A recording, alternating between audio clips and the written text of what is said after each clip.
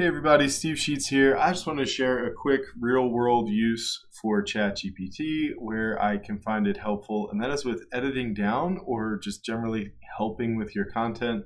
First, I want to set the tone with ChatGPT and save myself some typing possibly, and let it know that for casualness and brevity, I would like to use Ghost Ranch Communications, Ghost Ranch, and GRC interchangeably.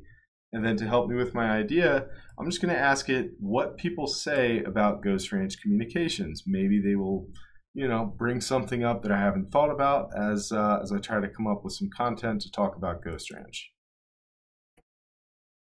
All right, so it's giving me a paragraph here that I can sort of take into account as I write what I think I want to say about Ghost Ranch and uh, come up with a paragraph that is basically stream of thought word vomit so I'm going to ask ChatGPT if uh, it can cut the fluff out of this paragraph and give me a nice punchy sales description to quickly pitch Ghost Ranch Communications. I'm asking it to trim the fat from this, get rid of some jargon or buzzwords, just so that it sounds a little more approachable to a broader market. And I've got my paragraph here, and I'm just going to hit go and see what happens.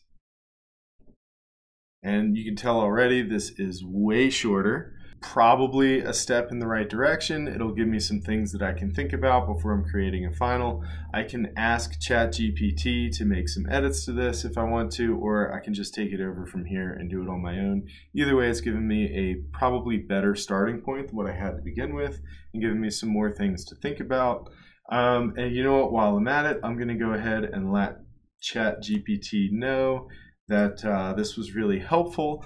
But for my future reference, um, what are some of the words that were eliminated? And ask ChatGPT if it can help me with a list of 50 buzzword or jargon words that are common in the B2B industry that I may want to avoid.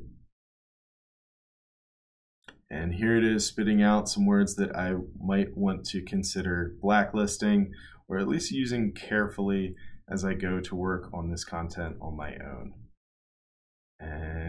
That's it. Super helpful, and hopefully it can help you too. Have a great day.